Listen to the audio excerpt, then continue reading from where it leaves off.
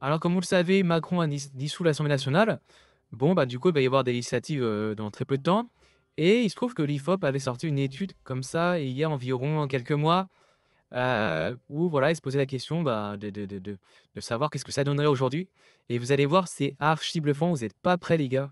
Surtout les, gau- les gauchistes, hein, euh, je vous dis direct, mais quittez la vidéo si vous êtes franchement un peu sensible, c'est pas, pas le moment, quoi. bah, allez, c'est parti, les gars, on va voir ça.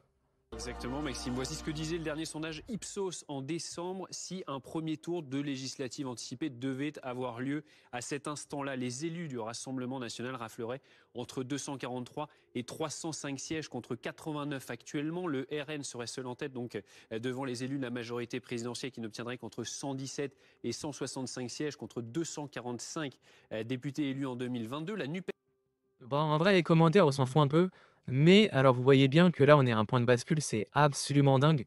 Le RN récolterait deux fois plus, voire trois, fois, trois fois plus, limite, que la majorité présidentielle. Donc, la majorité présidentielle, elle a plus rien de majoritaire. hein. Déjà, donc, euh, alors la NUPES, alors eux, 55 sièges, il faut comprendre que la NUPES, c'est pas un parti. hein. C'est un rassemblement, un conglomérat de partis à la con. Et les mecs, ils font 55 sièges à 79. Mais c'est tellement affligeant, ils sont tellement nuls.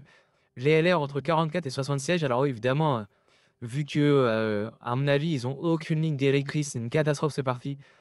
Ah là là, mais les gars, on n'a pas fini pour des larmes de gauchistes, hein, je vous le dis. hein. Non, mais là, c'est tellement abusé, je suis presque gêné.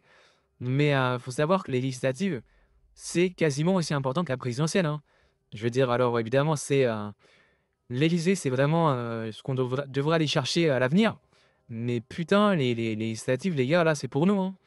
Et ce que les gauchistes n'ont pas compris, c'est que là, ils ont rien vu. Ça, c'est que dalle, hein, parce que la situation en France va continuer de se dégrader, parce qu'on a un gouvernement qui comprend rien à rien, et qui en fait qu'à sa tête, et qui comprend même pas le message de, bah, de voir Jordan Bardella à 34%. Donc ça va continuer, et on va encore augmenter. Donc, euh, non, là, là, là, c'est vrai que ça devient fou, on est vraiment en point de bascule. C'est historique, les mecs. Faut bien se rendre compte de la chance qu'on a. Bon, les gars, abonnez-vous, plus grand like surtout, le plus grand like et des commentaires pour le référencement. Sur ce, ciao